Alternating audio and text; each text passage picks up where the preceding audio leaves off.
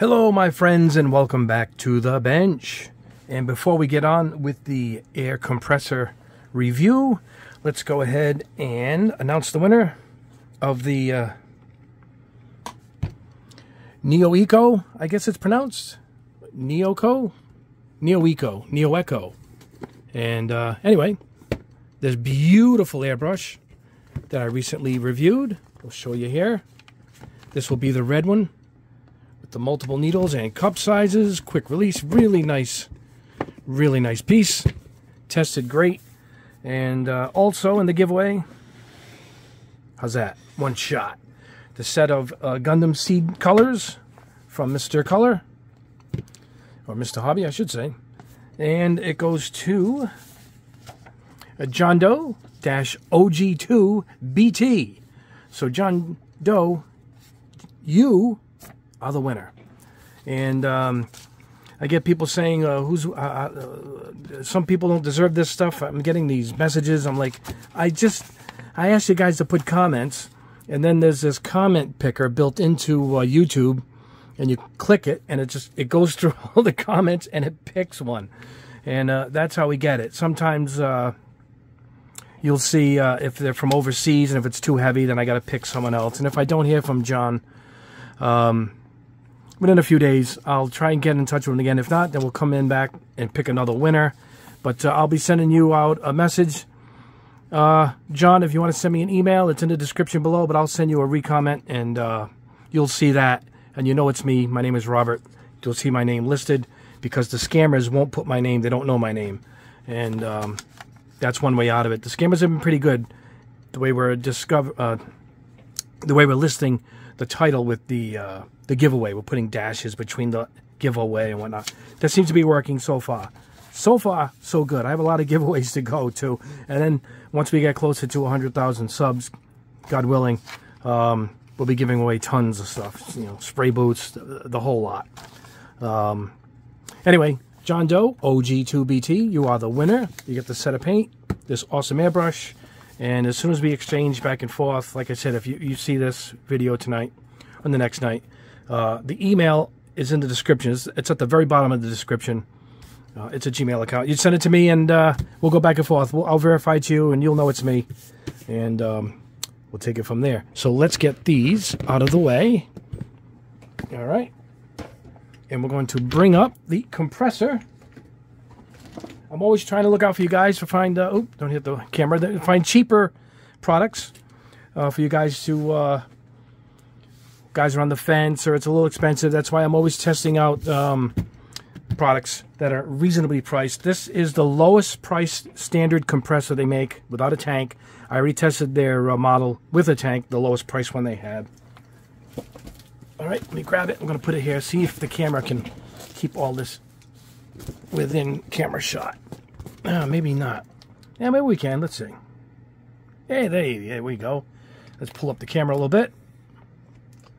There we go. It's still sealed, so we don't know. We're going to do a decibel test to see how loud it is. And we'll try it on one or two airbrushes, see how it performs. And um, we'll go from there. Let's get my Kobalt box cutter. Keep this. Always use this. Do not use your hobby knives for opening boxes. Let me grab my other one here, my Fisker, which I love. Yes, Fiskars are really nice. And this quick release, look at this, for the blades. Hold on. When you want to change the blade, I did this, like two years ago I did this test. The blades come right out and then, and then push her in. So, you don't use these, uh, your hobby knives for uh, the ones you build your models with. You dull them out, and you got to replace them buy a box cutter just for your boxes. And God knows we need one, because if you're like me, there's always something on the front porch. A bunch of stuff is coming in too. I got another chrome coming in from Spain, from uh, Green Stuff World, who I love their chrome. What we got here? Oh, product. Defective accessories missing. Contact us. That's pretty nice. Email, customer service. Not bad. They even have a phone number. Wow. Very good. All right, let's see what we have here. There it is, the TimberTech. And to keep it in that uh, $60 range, no tank. Um, but yeah, I've used them without a tank for my first airbrush for a long time. And uh, while I prefer a tank and recommend one to get started, man, you can go a year or two easy. No problem at all. So, uh, all right, let me pause the camera. Let me pull her out of the box here. You can see that it's kind of wrapped in there pretty good. Here's the pressure gauge. So, uh, yeah, let me pause the camera, guys, so I can back it up and pull this out of the box. All right, here it is out of the box. It is nice and compact, got a good weight to it. Um, the pressure gauge is like the one I have in my other two. It's good quality. You know, pick it up, adjust plus or minus, push it in to lock it. There we go. Got the handle. No need to release air from a tank. There is no tank. And uh, yeah, I guess the only point now is to see how it performs. Oops. So, uh, yeah, now don't forget, guys, we're giving this away. Um, this will be given away. Uh, it came with this airbrush, and so we'll throw this in too. Uh, brand new. I did run some paint through it to make sure it's not uh, it's not a, a bad one. It, it's fine. Works good. So we'll throw this in too. So uh, yeah, why not? Let's put this aside. All right. Okay, so we're to test this. We're to try it on maybe one or two airbrushes, my new Gaahleri here, or um, my GSI Creos on sale again, guys. 80 bucks. Pick one up. And uh, what's this? My Patriot Extreme I was just using. Um, a great airbrush. So, yeah, let's go ahead and plug this in. We're going to test the decibels. I have a decibel meter. So uh, we'll see how loud it is, and then we'll see how well it performs. And if it keeps its... Uh, pressure accurate because it's going to be running, you know, as you, as we're spraying, and um, that's the big test, and also the sound. So uh, let's pause the camera. We'll head over to the booth this way, my Pace spray booth, and uh, we'll fire it up, see how loud it is, and see how well it sprays. All right, guys, here we are at the booth. Now, before we test the decibels, I'm going to do it on the floor because this is all steel and it'll echo. This is the booth, and it won't reflect. Watch. It won't seem that loud once we put it on the floor. But I just want to show you how we're going to set it. How you should set. You can see it's set for 30. And you know what's good? Watch as I hold it. It does not fluctuate at all.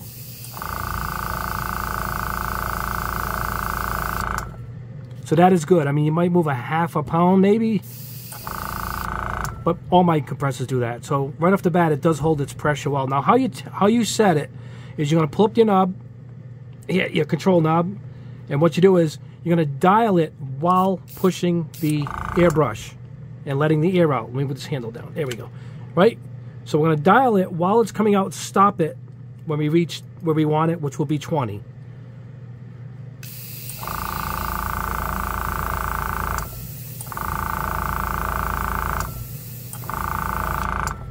Now we're locked in at 20. Always set it while you're pushing uh, the airbrush. Sorry about the camera, guys. While you're pushing in, and now you're locked in. So dial it while pushing, stop at the number you want it on, and you're all set. All right, let me change this camera angle, put this on the floor, and we'll test the decibel level and see how loud it actually is. Okay, guys, here it is below the bench. Below the bench, below the booth. The booth is right above us here. So I got my decibel meter here, and we're just talking and that alone brings it up to uh, 72 so I believe it's going to be in the 60 range like my other one because just talking brings you up to almost 70 here we go.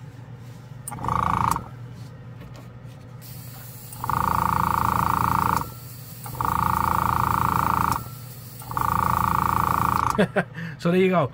I'm talking and it's actually louder but I'm near the microphone. This is on the floor. It'll be even quieter if I hold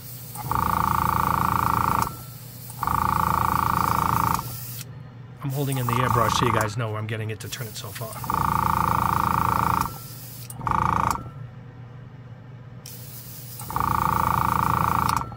It's got it shaking too. but anyway, there you go. It's uh, it's the same as my other one in the 60 range.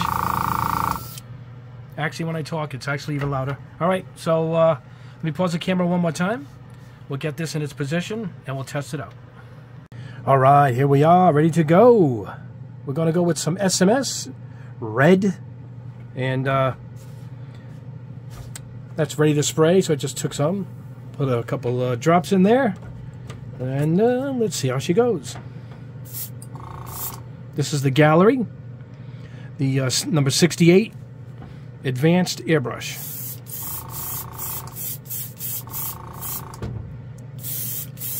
Wow, really good. It's not stuttering. Great paint. The airbrush, what a really good airbrush. I, uh, I have, I've only used this a few times, and I was impressed the first time, but I realized how good. This is really good, probably for uh, painting car bodies, because it really just lays it out nice.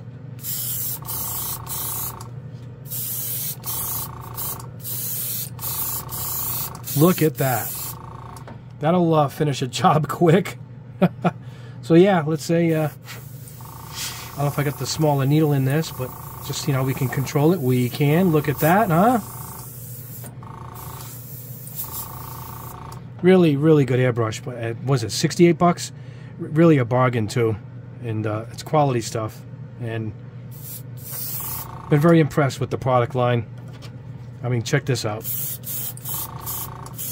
It's like having a, a spray can that you have control over. Beautiful. And you can hear the... Uh, can you hear it? That's how loud it will be because, you know, I'm sitting up. I sit in my chair when I spray. And it's on the floor right next to my feet. There you go. All right, let's try a different airbrush, a different paint, and then we'll wrap this up. All right, let's uh, wrap this up using my GSI Creos PS289. This is the 0.3 needle. This is the one that's on sale currently for 80 bucks. So uh, this whole video is about saving money. 80 bucks for this one, and I believe it's under 70 for the Gaahleri. And that's gonna between the two, you could probably paint everything you want in the air in the compressor at 60. We are talking, we are getting you in at a great price to start airbrushing. So let's go ahead and see how it works with the GSI. By the way, we're spraying XF56 Metallic Gray, one of my favorite Tamiya colors. You'll see why in a second. It just goes on awesome.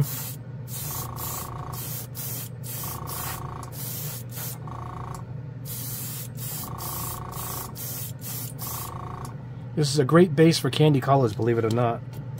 All right, let's try it again on white.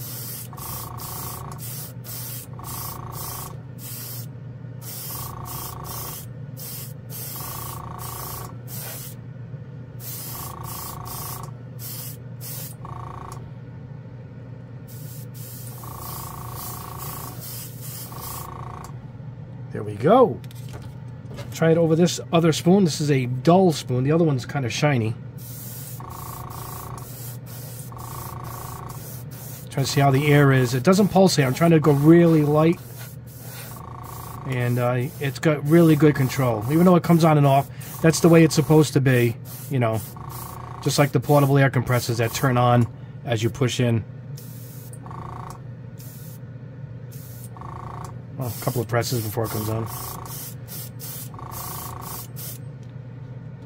Now you could, I'll show you the difference here. Obviously, this is a 0.3 needle. We're not going to get as wide an angle. Let's see. See, not as forceful. Still good, though. But we can dial this down. The MAC valve, lower the pressure a little bit up front. Come in. Oh, I'm going the wrong way. Hold on, guys. There we go. Now, I cut off the air completely, so watch. The compressor doesn't come on because there's no air coming through. Now we're going to turn it lightly and it's barely coming through. So let's go ahead.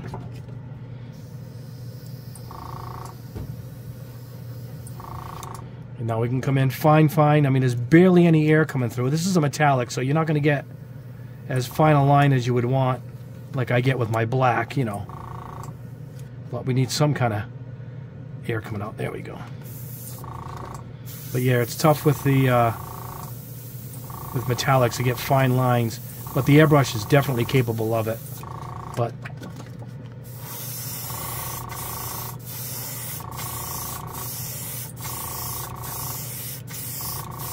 trying to show you guys how much the compressor comes on. This doesn't blow through as much paint as the other airbrush either. But yeah, the uh, compressor works well. I'll check it for temp now. Yeah, it's not warm. I've been spraying off camera too, and uh, to see how the temperature is, and uh, it's ice cold. It's it's still running nice. So yeah, let me clean out the airbrush. We'll head back to the bench. We'll wrap this up. All right, guys, here we are back at the bench, and the results are good. It sprays good. It's still pretty cool.